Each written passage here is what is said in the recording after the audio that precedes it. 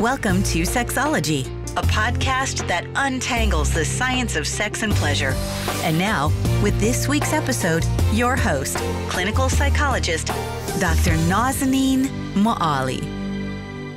Hello there. Welcome to episode 258 of Sexology Podcast.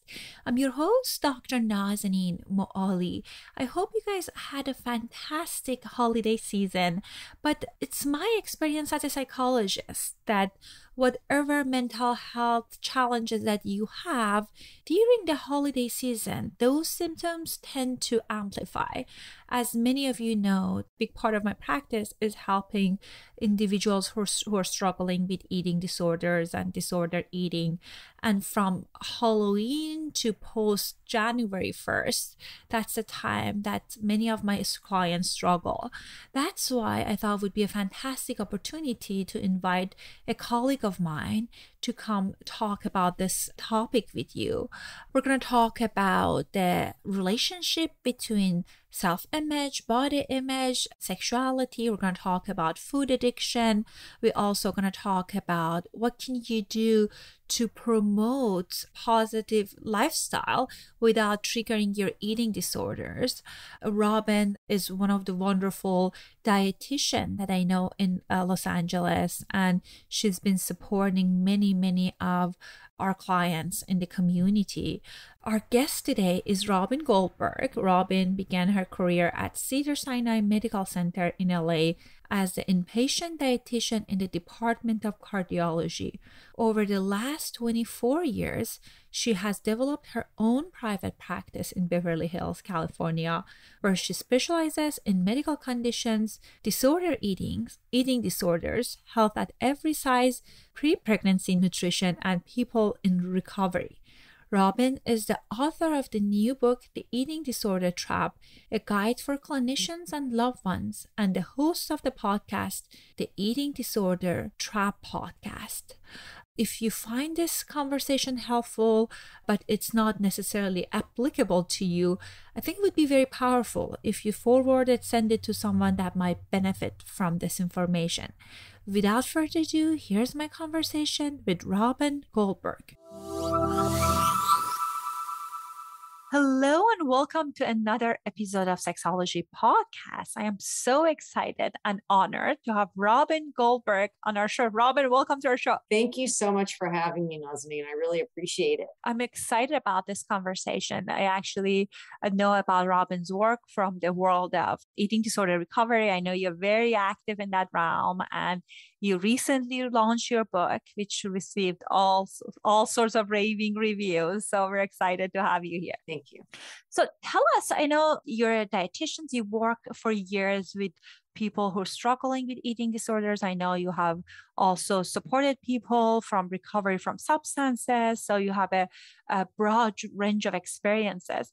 So tell us, uh, based on your experience, how is our relationship between food and sexuality uh, they're related? Well, one one of the pieces I would say is if a person is not eating regularly or taking in enough food, their desire to be intimate or have a libido gradually diminishes before it's fully gone. And I think oftentimes people don't realize, you know, we always hear about food and mood, but I think just having cravings and desires, that's a part of it as well. So there's clients I see that struggle with binge eating disorder and they restrict and they binge and they find that they have, you know, they're dysregulated with their emotions and they can't understand why. And I think it's similar to just their sexual desire and interest as well. It's sort of like if you're not putting logs in a furnace or logs in a campfire regularly, it will eventually fizzle out. And I think that's how it is with, you know, one's desire and interest for anything sexuality or just they become more flatlined.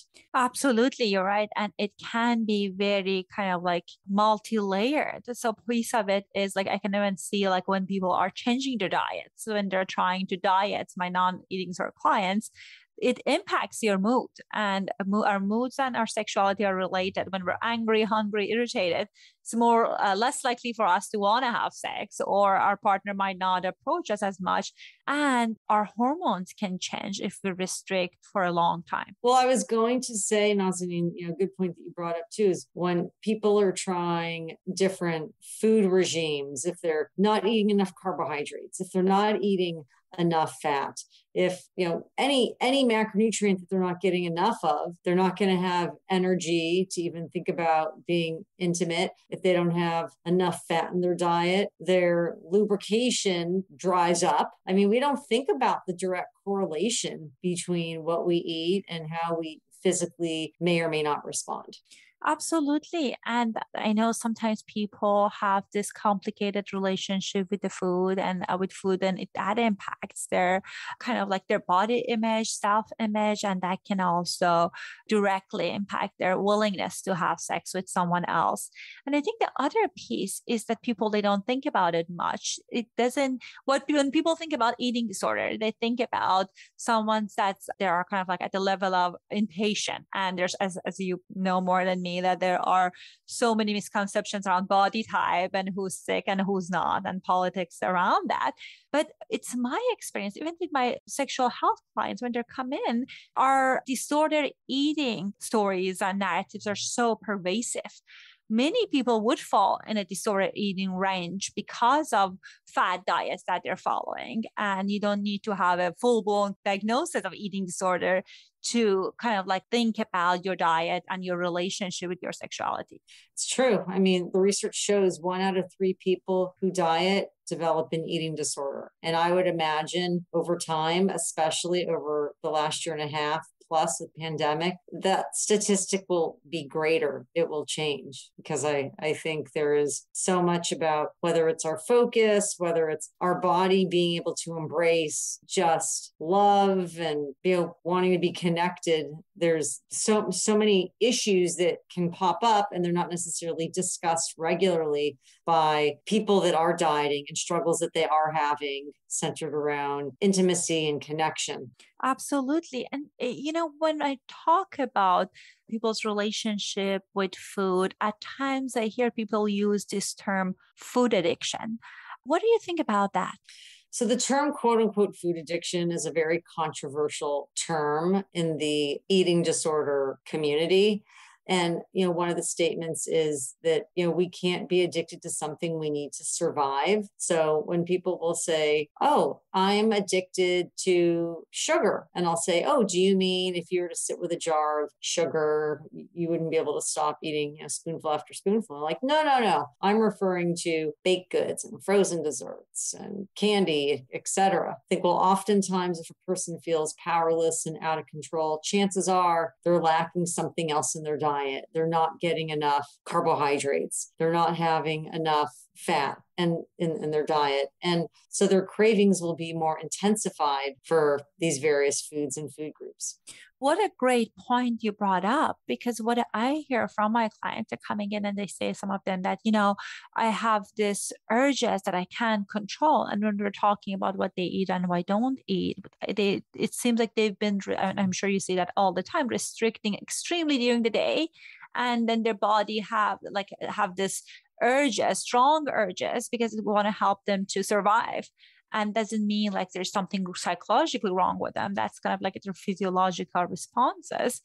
And we are bombarded with diet culture on what to do. And I feel like every five years there's new trend and people are judging you in a way for what you're eating and kind of like connecting it to who you are. And there's so many people that even around us, as you said, the statistic one out of three are struggling with eating disorder or they are having a problematic relationship with food because of their presentation is not what's quote unquote traditional. People are not paying attention to that. So tell us who is at risk for developing an eating disorder? Anyone, any age, any gender, any body shape or size is at risk for developing an eating disorder.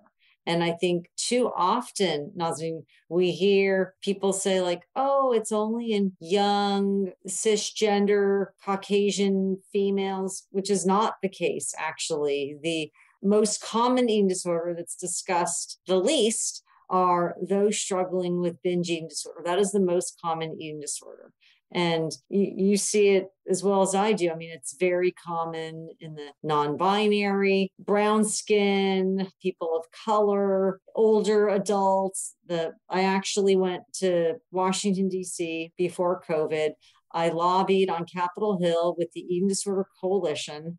And the Medicare population is actually the fastest growing population to develop eating disorders. And people are like, really? Not possible. And it could be they're an empty nester, they've had something tragic in their life happen, whether it's a partner pass away or they've gotten laid off. I've seen quite a bit of this over the last year of older people being laid off because companies can hire younger people for less money. Something that's just been so unexpected that this has rocked their world. And maybe they had disordered eating and thinking in the past, or they've had a history, quote unquote, of an eating disorder and they never sought out treatment or had a consistent team that they were working with and then their routine changed and then their eating disorder erupted. So any person that is living and breathing is at risk for developing an eating disorder. Well I, am glad that you uh, you mentioned that. I had a client long time ago that she she started having a really bad kind of like experience bad anorexia nervosa actually past her menopause years because what happened is she got divorced and she wanted to get a perfect body to be able to date so that was that kind of like created that dieting pattern that led her to have kind of like eating disorder kind of like which required higher level of care and inpatient and all of that.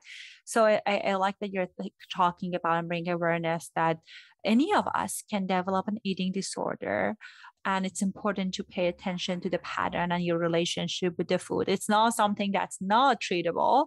There are solutions treatment but the earlier you notice a pattern the better you will be with kind of like preventing it or treating it. So I know that the next conversation I have with people at times is that I'm sure you have the same experience. They say, you know, but I don't like my body. What should I do? so if people don't like their body, question, a million dollar question.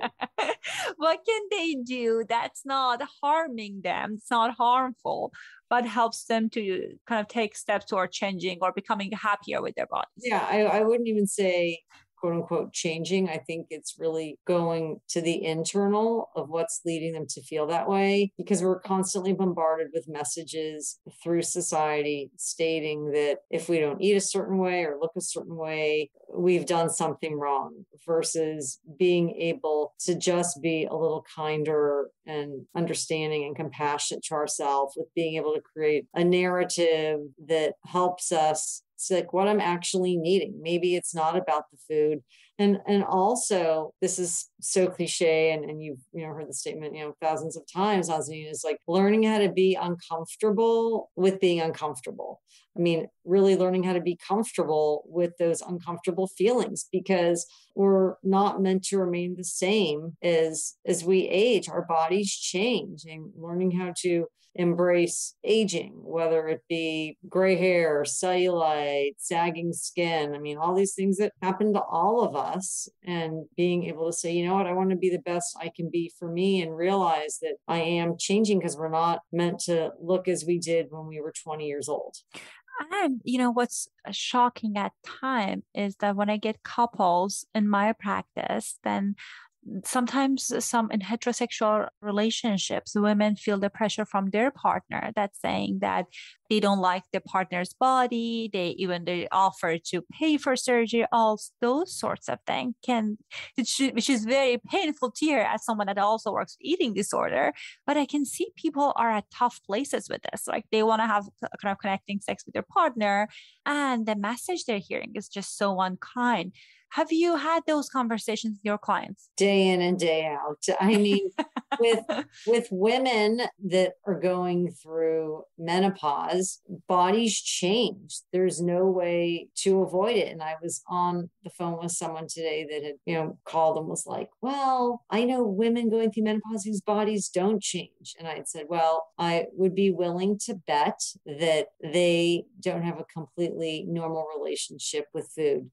as it's very common to be able to develop weight in the midsection. And it's actually viewed as like a survival place from the standpoint of like when an individual is not gaining weight and their body is not changing, their bone density actually decreases. It's, it's basically been stated as like the weight in the midsection is a life preserver to help a woman maintain her bone density and not to feel like, oh, I'm surrendering and throwing in the towel, but to will say, what are things I can do that make me feel comfortable and positive within myself, whether they're engaging in, you know, intuitive movement, that they like how it makes their body feel, they're be- being able to make food choices mindfully, that they like the taste of and they enjoy how it makes their body feel physically and emotionally. I think it's important to, you know, realize that we do have cravings, but also realizing too that a person could overconsume kale just like they can overconsume burgers. Well, I, I like the message of moderation, and I feel that's something that you can do all stages of your life as your body changes. Although I feel sometimes people use moderation as a, a label to when you're talking to them, they're like restricting all sorts of food and they're just labeling it moderation. But I like that you're talking about kind of like paying attention to your internal craving and kind of realizing that your body changes and that's natural part of life and uh, focusing on doing things that makes you feel good in your skin. So i know that you uh, you work with health at every size approach how effective do you see this approach is and what are some of the components of it well i see working from a health at every size approach as being super effective because i i think first of all the person that's receptive and open to it is the person who realizes that diets and quick fixes are not the answer that they want to be able to explore what, as I was starting to say before, like what forms of movement are physically and emotionally satisfying. Maybe it's gardening is their form of movement versus going on a treadmill doesn't necessarily seem pleasurable and enjoyable versus putting on music and dancing. So it's being able, to say, just in day to day life, like if we don't move, we become stiff. We find getting out of bed in the morning, we feel a little achy and not as limber, or even to walk up a flight of stairs, we're exhausted. I think just to be able to carry groceries or to bend down and tie your shoe. We take these things for granted when we have the privilege of being able to do this when we're younger or in different, you know, body sizes that can give us the privilege to be able to do it regularly. And if we don't practice moving, then it becomes difficult with any aspect of movement. It doesn't have to be the, the gym, is what I'm saying. It's just being able to move in a way that's not hurting your body. So you can bend down in your refrigerator and you know take something out on the, the lower freezer. We, we don't think about that. So that's one you know element of HAES being able to treat people of all body shapes and genders and sizes equally. Like sometimes there's providers that don't make the same recommendation to a person in a smaller body as to what they would say to a person in a larger body. So really being able to find providers that can align with understanding with where you're at and treat all people equally the same. Being able to, again, work from the inside out in regards to what foods do I like? What foods do, you know, give me the energy that I'd hope, or being able to focus or allow me to connect and engage with myself without feeling, okay, when I'm alone, I can really eat what it is that I want. Because the thing is, too, when a person is mindful about what foods make them physically and emotionally feel satisfying. There's times they're like, yeah, you know what? I love having french fries and I'm going to have it as, you know, as often as I'm having these other foods. But the more that we're demonizing a specific food or food group, we'll oftentimes have feelings of guilt, shame, or remorse and being able to learn how to make peace with all these various foods. I mean, these are just some of the, the principles from a HAES perspective. And again, a person that wants to change their thought process because maybe they've been raised being told that they're not allowed to eat X, Y, and Z, or they, you know, they're they're seen as not being accepted by their family if they live in a larger body, and and really learning how to explore where those narratives came from and what they could do with being able to change those narratives so they can view themselves differently. I love that. I think you brought up so many great points. One is that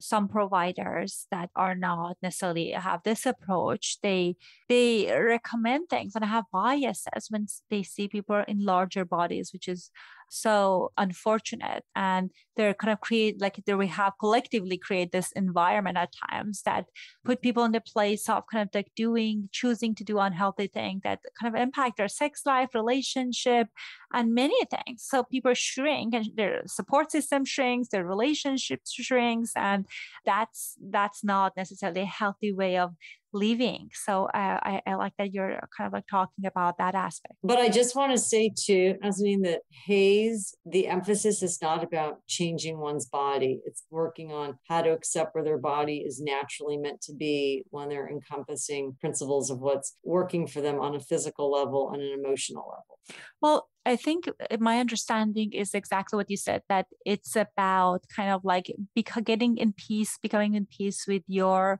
kind of like with the food, with your body, and acceptance is big piece of it. And I love that you talked about movement and that with movement that can bring so much joy. And when you are in a joyful phase, then you're more willing to have sex, you're more connected with life. So I think that's that's definitely a positive thing and uh, with kind of like extreme dieting that can become your whole focus and fixation and uh, that can take away so many other important things in life. But i think many women are conditioned to think about when they think about sex they think about how kind of like i need to have certain kind of body in order to be uh, sexual. But it's my experience the more that you're connecting with pleasure and joy that can enhance your experience of sexuality inside and outside the bedroom. So, for our listeners that they are listening, do you have a recommendation if they are curious if they have eating disorder or not? They notice some patterns. Do you have a recommendation on how they can assess that themselves? Well, there's there's a number of surveys. I mean, there's well, for, first and foremost, I actually have in my book those eating disorder surveys. And they could they could do the EAT questionnaire but but also i would i would go onto the NEDA website because the, the NEDA website has some simple questions that a person could could explore within themselves. But but also i think an important question is if they're thinking about you know to be able to ask yourself like out of a 24 hour period from when i'm awake how many of my waking hours am i thinking about food in my body? I mean that would be i think a red flag to to think about. And actually yeah so the eating attitude test which a person can go online I actually have it in my book so it's the attitude test it's the EAT 26 i mean that's like a pretty straightforward one because then there's the SCOFF i mean that's more clinical but the the EAT attitude test would be one that a person could look at online. Excellent. So speaking of your book i know you recently published your book eating Disorder Trap. so tell us more about that so our listeners who are interested about this they can they can kind of purchase it and read it. So my my book was developed over a four year period actually I wanted to write a book that was different from the other books in our field, where I have four expert eating disorder physicians in it and two well known eating disorder therapists. I felt like in those specific chapters, it would add more credibility. And it's written in a very basic manner that you don't have to be a clinician in the field. So it's written for the layman person, our clients, their families, coaches, religious figures, as well as mental health care providers and dietitians and physicians that are not trained in eating disorders or new to the eating disorder field. So the book also, I will just say, has a number of illustrations that are all non-gender, all body shapes and sizes, because some of the titles, person who may not understand, you know, the, the details in our field say, okay, it has a catchy title, but then there's an illustration, a fun cartoon to be able to encompass what's what's happening. There's four sections of the book. There's the getting to know Ed, which is the eating disorder, and just a few basic statistics about it. It's being able to explore like how much time a person is speaking and, and engaging with someone that may or may not have an eating disorder, because oftentimes the coaches and teachers spend more time with someone who has an eating disorder than a family member due to being in school and, and practice. And then there's all these different types of eating disorders, as you know, Nazanin. And unfortunately, for billing purposes, super bills for insurance. Clinician like you and I have to be able to give a diagnosis, but sometimes a person has multiple eating disorders or one morphs into another. So it's discussing briefly like what all these different types of eating disorders actually are. So this is all within my first section. My second section, I get into all the problems with BMI and breaking that down and deconstructing it and other ways to assess if a person is quote unquote healthy or or not you know we talk about what is normal and all the different variations of that from you know with lab tests from you know how a person appears i mean and getting into all the specific layers that then there's the nutrition interview, the role of the registered dietitian, questions that they would be asking in sessions, someone who is a skilled eating disorder clinician. And I think that's super helpful, especially for mental health care providers to really understand what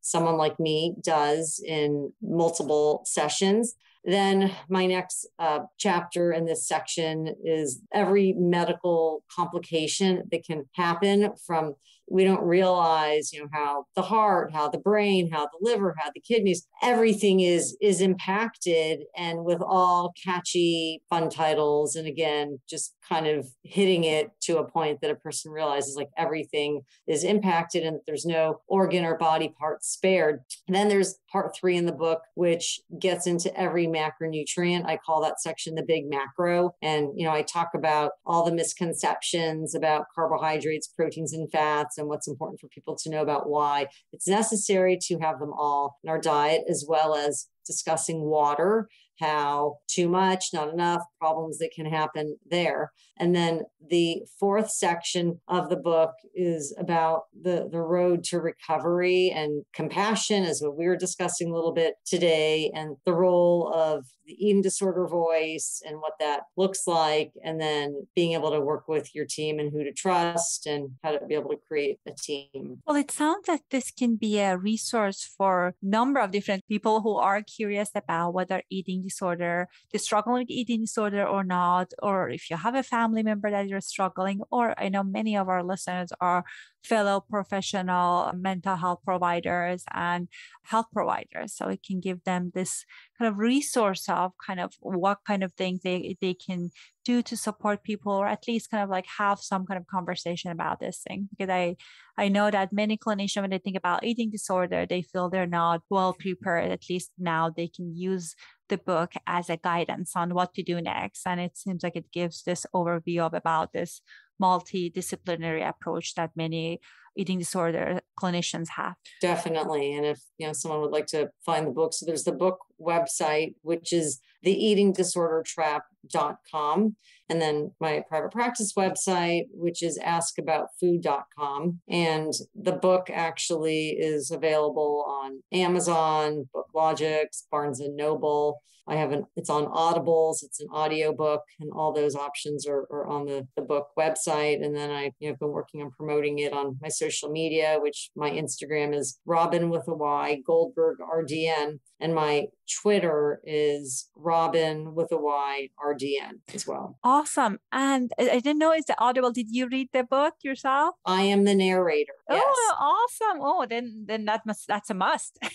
yes. And, and yes. And then I have my podcast, which you're guest on, the Eating Disorder Trap podcast. But yes, I am the narrator for the book. Wonderful. And definitely the podcast is another wonderful resource that people check out if they are interested to gather more information about eating disorder recovery.